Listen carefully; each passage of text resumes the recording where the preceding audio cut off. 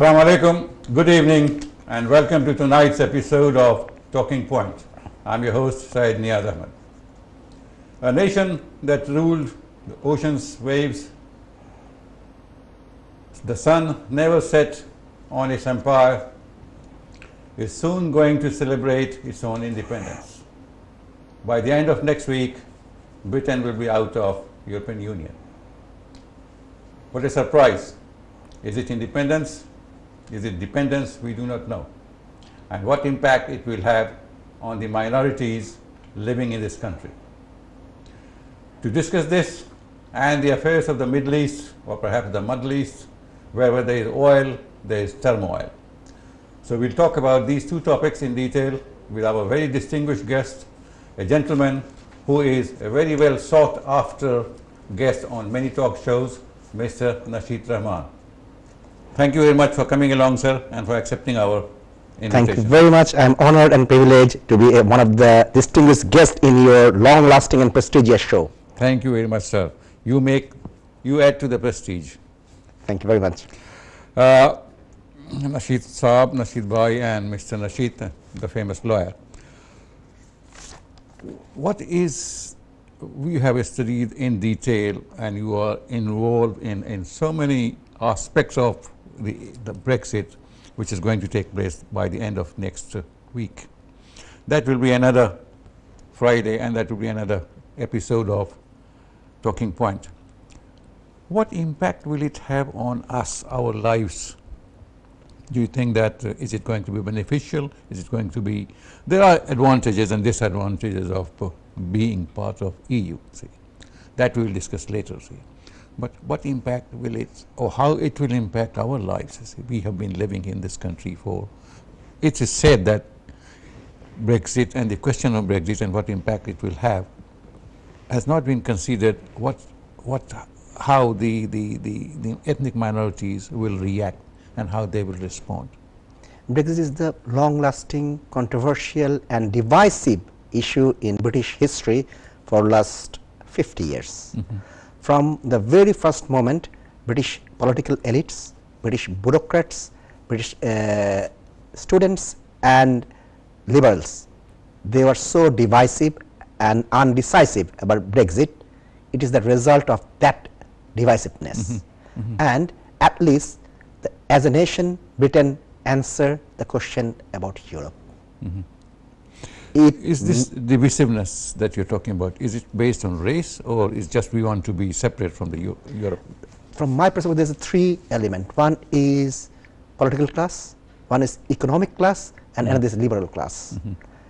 The economic class is so divisive, the most poorer end of the society, they will be most affected by Brexit, but mm-hmm. they are supporting Brexit. Yeah. They are misled, either they are uh, feeded by all the media, you can say in Mr. Trump's language, fake media, Yeah. fake news and the very same news for last 10 years if you look at guardian and telegraph it's two different connotation Yeah. two different headlines two different meanings uh, forget about the tabloids most prestigious news outlets in the whole world Yep. they are explaining the same issue in different lights. And if you think about the inception of Britain in EU, it was divisive with a referendum. And Britain was not in hearts in mind in Brexit because euro is not your currency. Sure. No of uh, uh, Britain, uh, England, Wales, uh, Northern Ireland or Scottish people, they like uh, EU flag. No one in this country salute the EU national anthem and the whole nation is against EU mi- military. In the century of uh, uh, European history, whenever any great conqueror, they want to conquer the whole Europe, there's bloodshed, bloodshed and bloodshed. In 70 years ago, we have seen the last bloodshed. I don't know where we are going. Well, let's hope not, uh, not any more bloodsheds in, in the world, but uh, uh, if we, for, for just for a short time, we, we move our focus on the Middle East, and which I always say Middle East rather than Middle. There's always uh, one country or another that is about, is in the eye of war. See, we have seen uh, Iraq, we have seen uh, Libya recently. Uh, Iran has been target many times, uh, but though a, a flashpoint, but a, a, war has not erupted there. Thankfully, many uh, so-called leaders, dictators, they have appeared and disappeared from the surface of the earth. Marcos was, uh, in the words of Mr. Reagan, the president, that he is a bitch, but he is our son of bitch. See. that was Mr. Yes. Marcos. See. Yes. Uh, of Iran was uh, the blue-eyed boy of America and the West. He didn't get a chance or, or a place to lie after his death in the West. Sea. He was sent to Egypt. Saddam Hussein was a blue-eyed boy, uh, boy for the West when he was fighting against Iran over Shatt al-Arab. Gaddafi was a favored chap, see. But they have all disappeared. So there is some of my friends who are in this business of journalism and, and uh, writing and analyzing things, they say that this is very closely related to the arms industry because in Mr. Trump's word, he likes business deals, see. And the road to Washington is infested with arms dealers, see. So that is what is happening, whether we uh, live in Europe, whether we live in Middle East, or whether we live in the Far East. There is always a threat of war looming our, over our head, see. But let's come back to our own shores and we have our own problems, see we were not consulted as a, as a, as a group, minorities, BME as we are defined as, see. We were not consulted individually as a, as a group, so that what will, what do we think, how it will impact our lives, see. We have been taken for granted that yes, we like it or we don't like it. We will have to accept it. You as a lawyer, you have been coming across uh, many people uh, and they are probably scared of how it will impact their lives.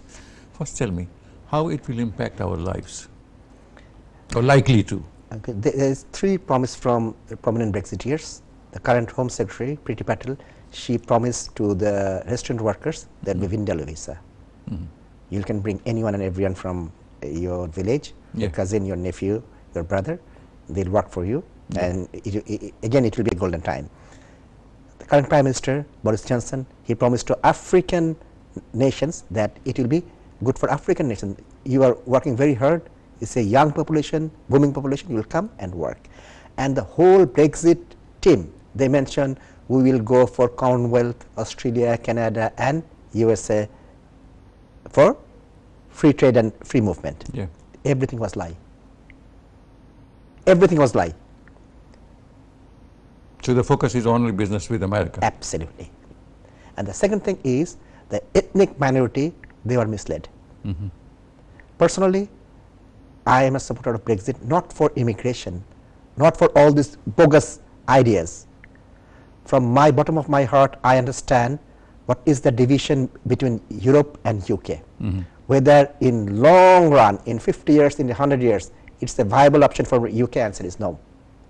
Whether you can UK can stand individually with good policy? Answer is yes. Question is where is the policy? True. So why did we enter uh, EU? That was a divisiveness uh, in Conservative Party. If you look at Heseltine and Margaret Thatcher, yeah. It is the politics of Margaret Thatcher and Heseltine and uh, that elitists mm -hmm.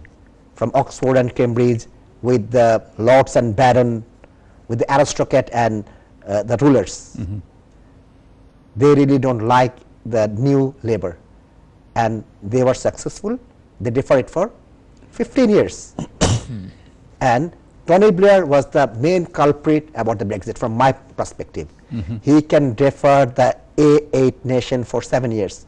This is done by French, German, uh, apart from Spain, Portugal and UK. And it is the starting point of anti-immigration rhetoric. Mm -hmm and they send search party to East Europe. to bring people led by Peter Mandelson. It was unfortunate, Yeah, the, the spin doctor. yes, spin doctor, prince of darkness. so, from outset Britain do not have any political will to stop the free movement of people and from the bigoted uh, comment from Gordon Brown, it turned to anti immigration and politicians do not care about the people. If you look at the red belt of labor, it was the basis of power of Labour Party. Right. It's totally gone, and you you never know what will happen next. And Mr. Tony Blair, he abolished the exit stamp from the immigration in 1998. He conquered the power in 1997. In six month time, he abolished the exit stamp. What was in his mind? That I don't want to show any data, any information, how many people are coming from Europe, especially East Europe. And the perception of New was totally wrong, boom, boom and boom. They don't understand boom and bust. Most effective exchequer in this country, Gordon Brown, was a failed prime minister. He cannot see 2008. He cannot see the prime uh, subprime market in USA. Yes, Britain was not that affected, but it's in the mind 2008 for immigration. But we did have our problems. Absolutely, but we are not affected like Germany, France, or USA True. and six tests for euro and uh, pound. It was a great policy from Gordon Brown. He cannot uh, uh, implement it while he was the prime minister. And I am not an economist. I don't understand the share market. But what my understanding is, the politics is run and controlled by the corporates, billionaires, and bankers True. True. and we failed on that sector. And what my personal understanding is the bankers, the multimillionaires and uh, corporates, they cannot stand Brexit. And if we look at the misinformation, IMF, World Bank, Church of England, you name anything and everything, they say after 23rd June 2016, pound will be in the bottom low.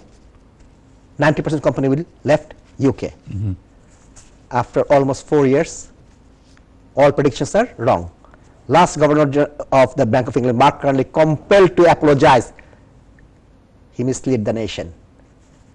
And Nigel Farage have that authority to say, shut up, Mr. Archbishop. Go to your church and do your religious thing. Politics is your cup of tea. You mentioned Nigel Farage. I have not heard his name for some time. Where is he?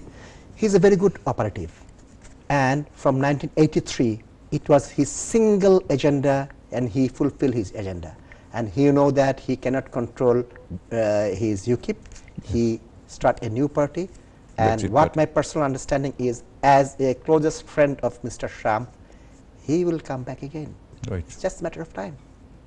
I know in not, he, he will not take uh, uh, the House of uh, uh, Lords membership. No. He will be in The Commons. Co- Commons. Yes. That that's his Where the action God. is. Yes, seven time failure, eight or nine time he will be there. Well, it is said that the government is keen to adopt, the Prime Minister is keen Mm-hmm. to adopt a more liberal migration regime than his predecessor. Is that right? That his predecessor means that Theresa May. Yes, because he abolished the net migration policy of Theresa May and David Cameron, which was totally, totally rubbish, without any research, without any uh, consultation process, without any thinking of a minor. They adapt that uh, uh, notion just for cheap publicity and vote. And if you look at the net migration, what is net migration? The British people are going out from the UK and the non-EU people are coming inside. So they include the students within that statistics. But they are not migrants. they're not migrants. And 70% students are going back. Right. And 34% students are from China. 60% Chi- eh, students are from India. 95% of Chinese and Indian students are going back. True. So they are not taking the consideration of that students. We are since 2010. They failed on that promise, and then in 2015, Mr. Cameron said, "No if, no but." I will make it 100 uh, uh, below the 100 100,000 and only in 90s the ratio is up from 18,000 always it was go down because most of the British people they are going out great Irish migration to uh, USA America, yeah. uh, the uh, 10 pound uh, scheme in Australia and then uh, the boom in Middle East. You are the prime example. As a British national, you spend we- y- y- your golden uh, time in Middle East. You see hundreds of thousands of uh, British nationals working in the Middle East. True. So it, it is the uh, politics. And Mr. Johnson from the outside, he is saying Australian-based point-based system. The one thing he never take under consideration, Australia is a continent, not a small island. Australia have vast resource. Australia have manufacturing. Australia have uh, the poultry and uh, so many other things. And they have so many outlets. Okay, sir. Time for a break. Thank you for being with us. We'll be back after this very short break. Don't go away.